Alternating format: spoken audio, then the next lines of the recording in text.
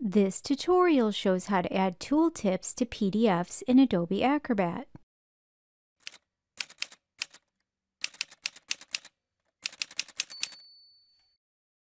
Hello, my name is Erin. This tutorial shows how to add tooltips to PDFs in Adobe Acrobat. Specifically, we'll add tooltips to forms and navigation buttons.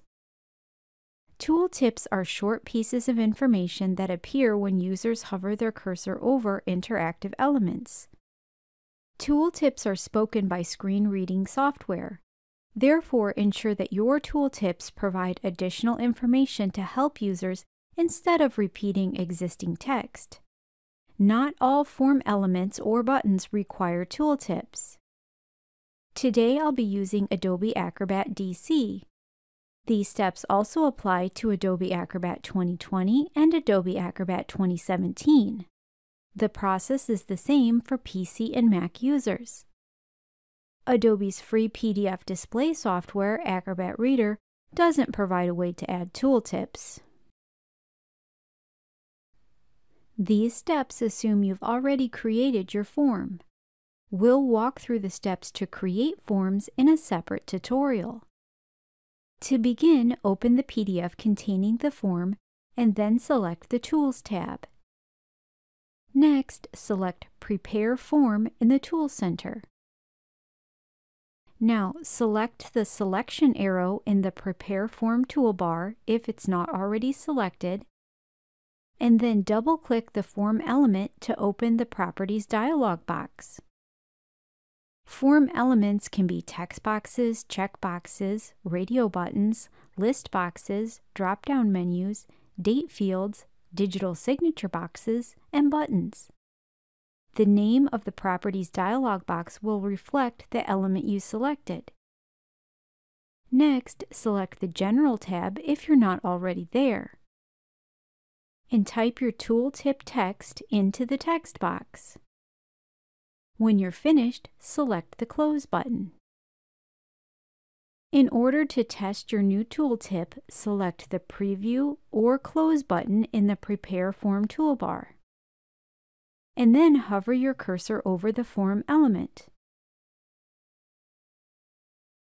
Before we move on, it's important to note that Adobe doesn't provide a formal method to delete or edit tooltips. Instead, repeat the steps we just walked through and then delete or edit the text in the tooltip text box in the Properties dialog box. Now we're going to add a tooltip to a navigation button.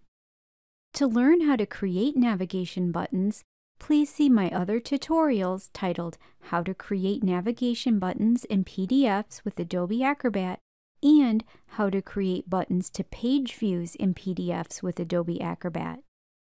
To begin, open the PDF containing the button and then select the Tools tab, followed by Rich Media in the Tools Center. Next, select the Select Object button in the Rich Media toolbar.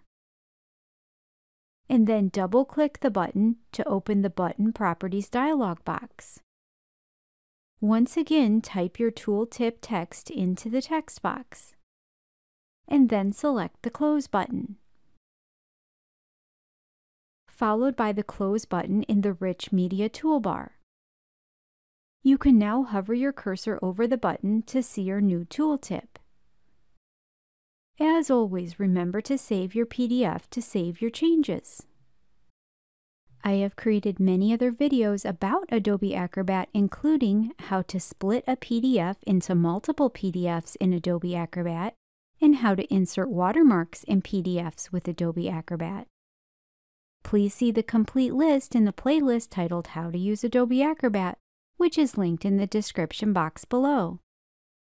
The companion blog post for this video showing all the steps we just performed appears on erinwrightwriting.com along with all my other step-by-step -step document software tutorials to help you succeed at work and in the classroom. Today's topic was based on a viewer's request.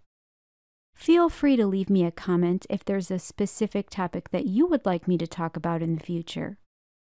And please subscribe to my channel so you don't miss future tutorials and give this video a thumbs up if you found it helpful. Thank you so much for watching.